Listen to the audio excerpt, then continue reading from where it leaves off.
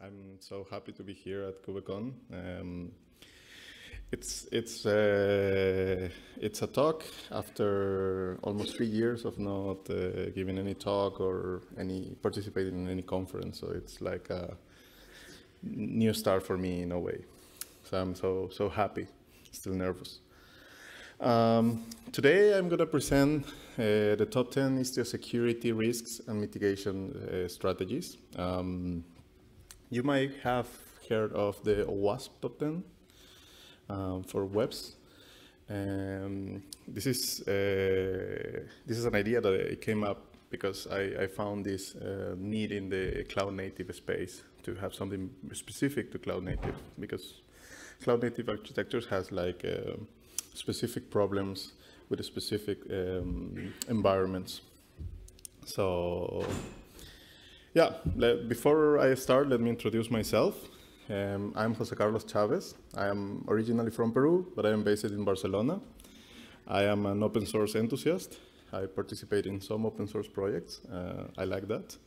Um, I am also an OWASP core uh, co-leader for the project uh, called Coraza, which is a web application firewall um, for, for the zero trust uh, times. Um, I'm also a Zipkin core maintainer. Uh, if you heard of distributed tracing, um, I'm there as well. And I'm a loving father, as you might think. Um, before I continue, uh, I want to just uh, spend a couple of minutes um, talking about how all this started. Uh, because originally, um, my idea was to, to build a list of awareness for um, uh, the cloud native, or for Istio landscape in terms of security uh, risks. But then in the process, um, the security tag for CNCF got some attention on this and interest on this. So it started as a list for Istio, but in the end, we are going to make a, a, top 10 list for the cloud native um, ecosystem, like including Kubernetes, Istio, or well, service mesh in general. So yeah, it's it's it's growing. So uh, without further words, let me start. Um, we will first talk about what are security risks, of course, to, to understand what we are talking about. And risk are something that is hard to define, or at least hard to like make concrete, right? You want to evaluate likelihood versus impact, right? Something that is unlikely to happen, but has a huge impact, then it's a medium risk. Something that is uh, likely to happen, but the impact is low, then okay, it's, it's like a not too important risks. So what we measure usually is how easy it is for an attacker to carry out an attack in our in our system, right? Is it easy? Is it just triggering a call? Is it a, uh, doing a DDoS attack? Um, what are the skills needed, right? It's not the same like I write a script and then uh, start launching um, Go routines that will send HTTP requests. Uh, it's completely different as if I have to get into a server and then from that server open a tunnel and then from that tunnel, SSH tunnel to open a connection to another server and then start the attack from that. It's different. And then how cheap it is, right? Because it's not the same like doing an or, or triggering an attack from my laptop uh, versus triggering an attack from a cluster of, of the multiple computers working together. Um, so yeah, that's, that's something we should take in consideration when we evaluate the risks. And then um, it's also important how sensitive the data uh, or how sensitive the, the systems are like um, uh, being affected uh, for this attack, right? Because if I, if I have the resiliency patterns, let's say I have a, um, a CDN in front. I don't care about uh, whether they are attacking my web or not, right? But if I am resolving, I'm evaluating, I'm doing a database call on every request, then I'm going to pay more attention to this. Uh, also, how valuable and sensitive the target data is, right? If someone is, is trying to attack my, my, my database or steal data, um, then I have to evaluate, okay, is this data worth it? Like, imagine people, imagine um, an attacker is uh, targeting to steal my logs, right, from the storage, then do I have PII in the logs? If the answer is not, uh, and I have a backup, it's fine. Well, not fine, but it's not that important as if I had PII in my logs that I haven't redacted. And then I will like, uh, they, they are gonna get really valuable information. And then I have to disclose the breach, right? Um, and then how hard is uh, to recover from that uh, attack, right? And then we have mitigation strategies, right? Which is basically how we deal with risks. Um, and this is about being honest about what is going to happen, right? Because you can assume and, uh, and, accept the risk and say like, okay, this risk exists, and let me assume it in, in favor of something else, right? Doing a trade-off, um, avoiding the risk because I'm not, it's not in my control to um, basically uh, fix this, so I will just avoid it. Um, maybe in a silly way, like putting a firewall in front, and then I don't have to care about what happens internally, theoretically, right? controlling the risk, like I, don't, I cannot just get rid of the risk, but I can control it. I can control the effects of it. Uh, transferring the risk, as I said, like for example, if you put a CDN in front, or if you put um, something in, in front of my application, then uh, I basically transfer the risk to an upper layer, right? And then watch and monitor the risk, which is basically I accept that this happens. I will just monitor in case this become this get out of hands, right? So now, uh, but the question now is, is an Istio secure by default? Like, is, is Istio, why do I care about the security risk in Istio, right? Because it's a, Istio is a service mesh, but it's also um, a software that includes a lot of security uh, features. So do I really, should I really worry about it? Or, or is secure by default because it's in the cloud and baked by Google and major vendors, so it's safe to, to use it, right? Well, uh, security is definitely something that uh, service mesh adopters look for, right? 79% of the service mesh adopters, uh, according to a CNCF survey, were looking for security. And, and then 22 believe that the most important feature that Istio was bringing was security into their applications, according to a, a solo uh, report.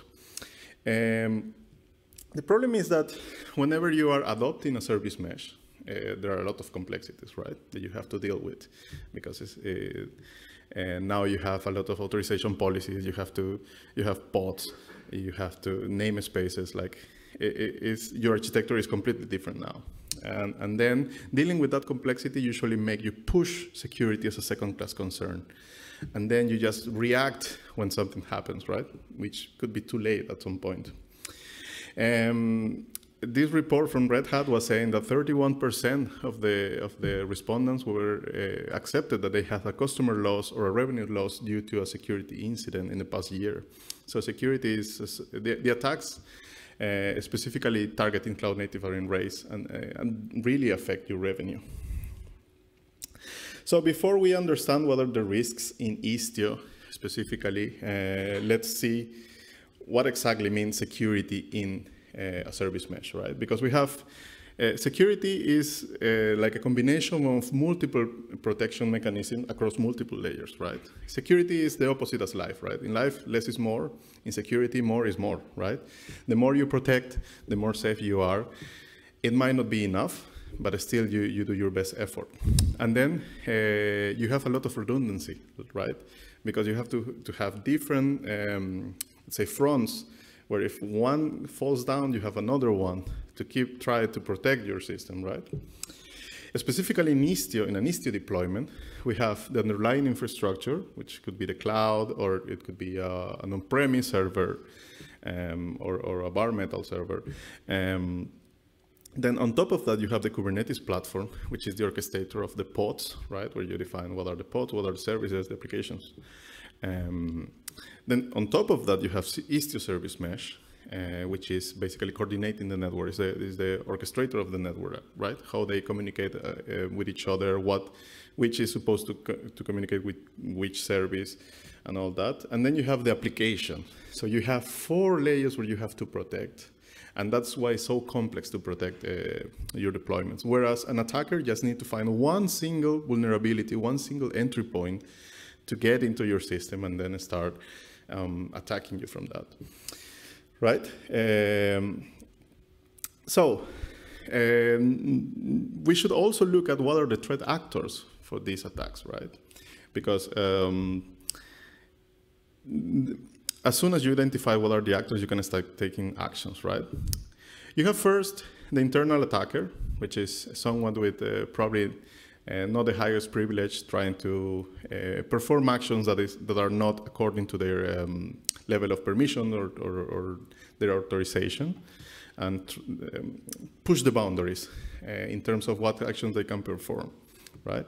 Then you have the contributors to Istio, which is people that is supposed to be nice and, and, and try to build the best product uh, possible, but sometimes they could try to attempt to include malicious software that can be deployed in your system and then take advantage of it, right? Probably they are the less, but uh, it's, it's, uh, it's a, a, a threat actor, right? Then you have the contributors to the third-party dependencies, which is more fun because it's people that individually build libraries uh, with not necessarily a purpose of, of, being used in Istio in the end. And then um, I was reading about this attack where uh, people was creating users in GitHub with one typo um, different from uh, a well-known, well-respected library. And then the attack was consisting on opening pull requests with that library maliciously, that there is only one typo so no one can detect it, and then it get merged it gets merged into Istio, it gets deployed, or it get, not even into Istio, it gets merged into a dependency that is a dependency for Istio, and then it gets deployed, and then the attacker can take advantage of that, right? Just because of a typo that nobody will like, suspect. Um, so yeah, that's that's also interesting.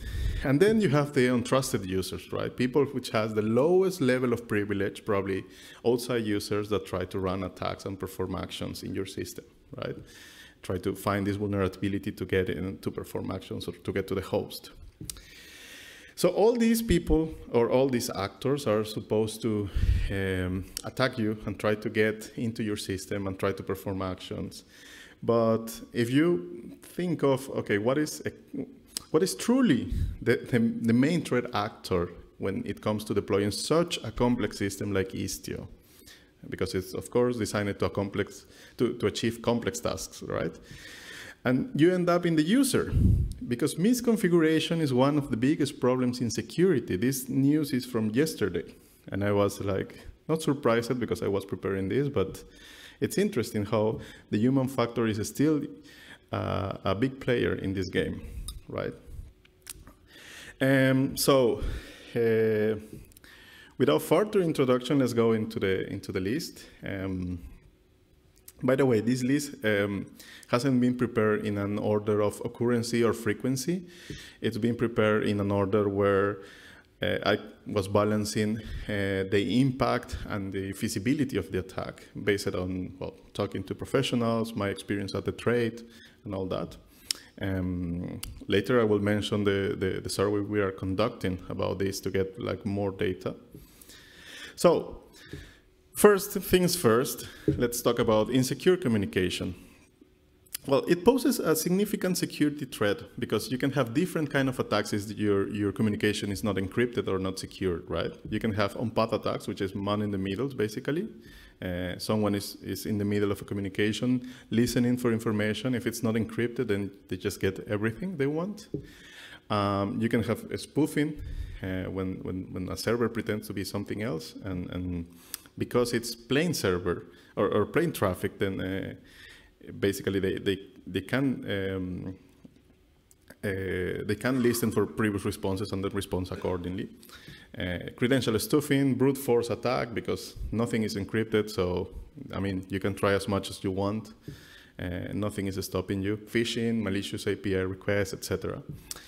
And you might be wondering um, why insecure communication is a problem because Istio comes with MTLS by default and, and you have all these great features about securing communication. Well, in security, you have this dilemma whether something is usable and something is safe to use, right? And you have to do the balance because uh, something could be really usable, but then in the end, really insecure because that's why it makes it usable, right? It, it, there is no barrier on usage or something is very secure but then unusable because basically you need to deal with policies that you are not supposed to do when you are getting started, right? So Istio permissive, permissive security setting is useful because you can onboard um, legacy servers, you can try the concept of communication among, among um, components, but then uh, all data is uh, either uh, uh, plain text or encrypted traffic. So you can you don't enforce uh, encrypted traffic, and hence you don't enforce security. And a stricter security setting is gonna cause that all the traffic is going to be enforced to be secure, and then your legacy system won't be able to onboard into the into the mesh, right? Causing a, a barrier in usability. Um, this is a very common thing because although it's really easy to enable MTLS for, for Istio, it's just an authorization, uh, per authentication policy where you deploy either in a namespace or in the system namespace to, to enforce it wide mesh. Um, you will have problems by onboarding all uh, systems, right? If you, so one mitigation strategy is enable MTLS for everything, which is possible. Uh, if not, because you have legacy systems, you still need to onboard in the mesh. You can enable permissive, but then use authorization policy to restrict traffic uh, in plain text, but you can restrict who, who am I accepting traffic from, right? Um, Moving to the second one, we, we have unsafe authorization patterns. And this comes from the old days when people was writing firewalls, right? And, and how this concept of allow list and deny list appear. Because when you are um, writing policies and, and, and when you're writing rules, you, what, what you value the most is to be deterministic, right? You, you want to know exactly what is gonna, what am I going to accept rather than what I'm gonna not accept or deny, and then you don't know exactly what you are going to accept, right? There's no deterministic answer on what, what is possible and what is not. So this is a, a really common pattern. Um, there are a lot of, even in GitHub, you can find a lot of uh, policies that are more like um, uh, deny list more than an, an allow list, right? So it's not explicit what you're what you're accepting traffic from. One of mitigation recommended by Istio is uh, use default deny for everything because um, default deny means that whatever is not uh, declared in or whatever I am not supposed to accept traffic from, I am not accepting traffic from, so I'm safe in that sense. Um, allow with positive matching, meaning that I am declaring exactly what I am receiving traffic from or what I'm accepting traffic from. And then deny with negative matching, which is basically the same thing, but uh, the declaration is, is the opposite, right? But in, logically, they are the same kind of condition. I am denying, but with a negative condition, right? Those can make you have deterministic and safe policies. And then debugging uh, security incident is much more easy. Moving forward into the third, we have weak service uh, account authorization, right? And this is one, one of the most important principles in security is that you have the least privilege uh, principle, right? You, uh, a user should only be entitled to do uh, the minimum amount of things that uh, let them to do their task, right? they don't need like uh, more permissions than what uh, they are supposed to do. We have many examples in Istio. Uh, the first one, or the typical one, is a init container, right?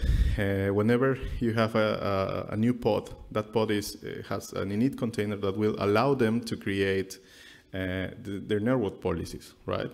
That means that they have to have permissions of netadmin or the capability of netadmin to do so. Uh, and that poses a, a, security risk because then inside the, whoever gets inside the pod will have that capabilities. Then you can bypass outbound, uh, outbound traffic policy by impersonating the Istio proxy user, right? Some containers um, have this, uh, let's say, convention or feature where you declare the user that is running the container with a user ID, right? And then that will match with the host. That's why one recommended um, mitigation is that you don't run containers as root because then someone, an attacker can mount a folder that belongs to the root in the host, which doesn't have permission for, and then from the container we'll be able to access those files just because the user ID matches. The same happens with the Istio proxy. People can impersonate um, the Istio proxy by using the user ID and get permissions to that to, to for from for those for that user ID, right? Then the third is the usage of first-party JWTs, right? Which is something that was uh, very popular in the past, now not anymore, but still deployments that have this, which is basically whenever the pod is supposed to, con to contact the control plane, they are using a JWT. The JWT is mounted into the pod, and then the sidecar is going to use it, but any other container into the pod could eventually use it because the JWT, the first uh, party JWT doesn't have an audience. One mitigation strategy is, of course, to use the, the new third-party JWTs, which restricts the usage of the of the JWTs for a specific audience, so only the sidecar can use it, right? Um, a mitigation for the init container would be to use the Istio CNI plugin, which will avoid the, the, the requirements of the privilege net admin for the pod, right? It just happened at, at, at, Kubernetes level. You don't have to worry about that, and you don't have to give permissions about that. This also exposes the fact that although Istio can um, attempt to be as much as possible uh, secure, it depends on the underlying platform, which is Kubernetes, right? So you cannot, uh, you cannot make um, Istio secure if you are not looking also at Kubernetes and, and, and how the policies are declared there. Later we will see how also you, there are things you cannot achieve with Istio, but you need to achieve with uh, Kubernetes. So going to the first, to the next one, uh, we have the well-known broken object level authorization, right? The BOLA one. Um, so Istio provides authorization policies, right, to perform checks on HTTP headers, uh, on the path, uh, some Kubernetes metadata, okay, where is this originated from and where it goes to uh, in the services, as well as validating JWTs. Uh, one of the bigger problems of this kind of authorization policies is that uh, they can access, they cannot access to the JWT fields, right? Where usually, because, you know, putting in you in context, um, Istio is not uh, emitting the JWTs, right? You have to have a third-party service that is creating the JWTs for you, and then you use it in Istio. But then the problem is that Istio cannot know every single possible field that is out there, depending on the provider. So Istio only access to the issuer and, and usually the providers put more metadata about the user into the other fields of the JWT, which Istio doesn't have access to or, or, doesn't understand, right?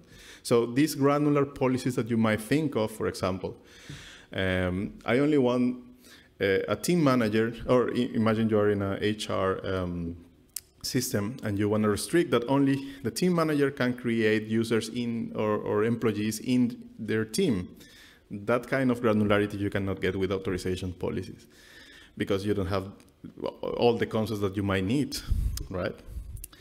And then another problem is that policies get out of sync with the architecture, right?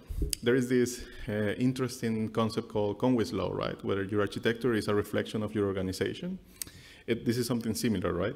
Because you are in a microservices world or in, in a microservices architecture, everything changes so often that uh, you cannot keep track of every change unless they are based on the same source of truth, right? Um, you write a policy, tomorrow the services change, the permissions change, the path changes, the API changes, and you basically don't have a way to keep track of that, right? Permissions, group, users, privilege. So um, some mitigations, well, uh, first of all, um, all access decision has to be based on the least privilege principle, right? Everything should be decided per request, uh, meaning that these static authorization policies cannot resolve per request, right? Because they are more static at generic level, context-based and based on identities, right? And then one recommendation from the NIST um, is to use rich model policies like NGAC, which is the NIST standard for, for, for permissions, um, or OPA, for example, which is a well-known software, right? But you can express policies in a more granular way with more information from the JWTs, and then you can uh, do these more complex assertions about, okay, I belong to um, this group, then I am entitled to do certain things, right? And one interesting thing about NGAC is that uh, basically it's a graph, and then you can model the, um, the permissions and the users and the groups as a graph. And then it's really easy to understand what happened, right? Uh, for example, when you are debugging a, a OPA policy, um, you fail to understand, okay, I know this was rejected, but why exactly it was rejected, right? With NGAC, you can basically trace the graph and say, okay, this was rejected at this point. Um, okay, supply chain vulnerabilities. This is probably the, the only one uh, risk uh, that we are mentioning that is not uh, related to misconfiguration. Um, Istio is an open source uh, project which is based on many open source uh, components and third-party code. Uh, on top of that, like Envoy and Prometheus, on top of that, Istio runs on Kubernetes. So uh, there are a lot of uh, balls jiggling, right? So some of the risk in a typical uh, in a typical Istio deployment are not only the Istio components, but the, ima- the images that you are deploying, right? And then uh, some of the risks are image integrity, like how do I know that the image I am using is exactly what it was produced by the user or by the by the author? Uh, image composition, like every layer in the image has its own um, security risk, right? Because you are downloading software, um, you're granting permissions, you're creating users. Uh, known software vulnerabilities, of course, that uh, you are not necessarily able to patch easily. Some mitigations are image scanning, like you can scan the images on um, when you are building the uh, your application on CI. There are a lot of tools like Snyk, where you can uh, scan your, your artifact looking for vulnerabilities. Um, image composition and software bills of material, right? The software bill of material is like a receipt of things that are in your image. So you can also analyze them and then uh, assess whether this is secure or not. Image signing, where you can check that the image was exactly what I is expected to be. Uh, you can have a curated registry, which is probably a composition of all these mitigation strategies, where you have only an, uh, uh something like Artifactory, where you can regularly run checks. Because uh, one of the interesting things about these mitigation uh, strategies and why they are complementary and they overlap is that you can have your image registry or your artifact registry, and then although you are safe today, tomorrow you might not be. So you have to keep running the analysis. And then when application firewall, right, which is a, a, way to protect things that are broken and you cannot fix it easily, right? If you think of, for example, in the Log4j vulnerability, um, when it, or Log4Shell exactly, when it happened, it will happen sometime until people could actually fix it in the library, and then sometime until you can include in your in your um, application, and then sometime until you can deploy that into your mesh.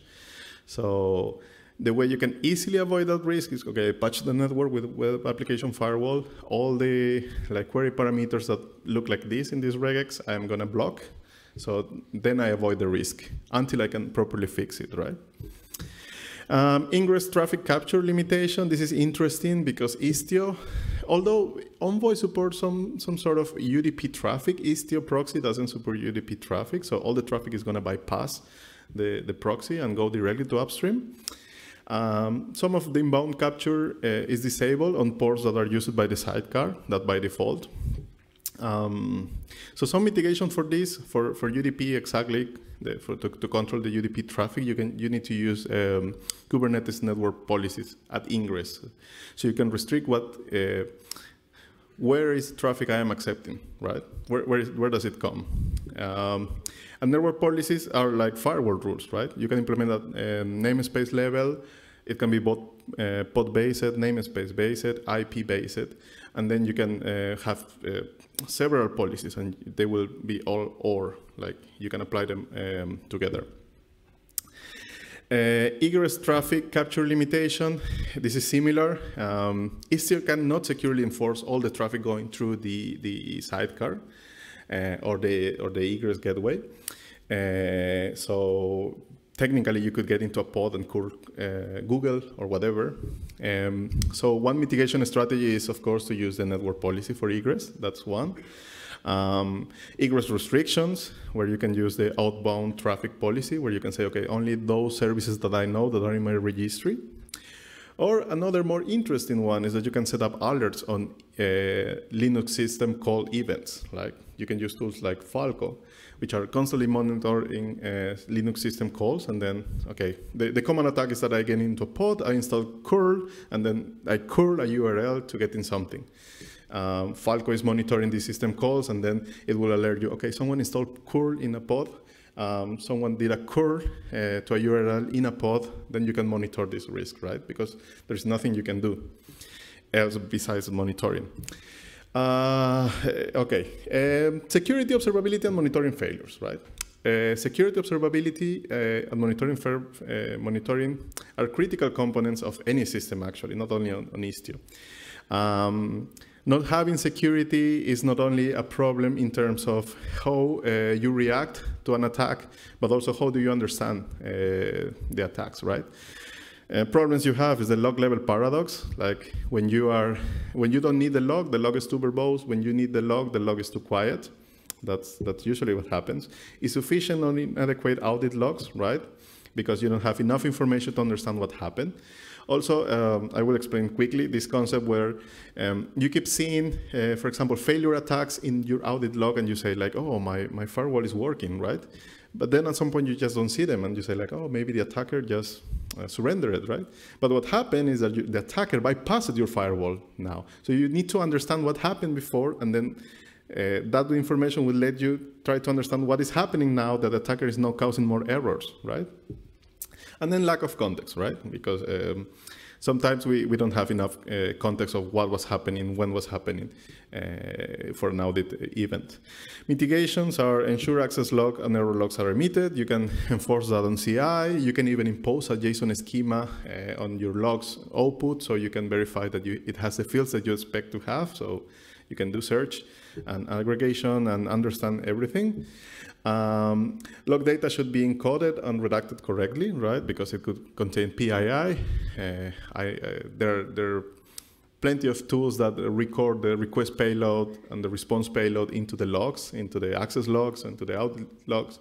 And then it can contain PII, and then if there is a breach, that information is exposed, right? Um, you should ensure that high-value transactions have an audit trail that you can follow what happened. That's very important. Correlation, and establish an incident re and response recovery plan, right? That's also important. You really need to, to know how you're going to react and, and have a plan in place, right?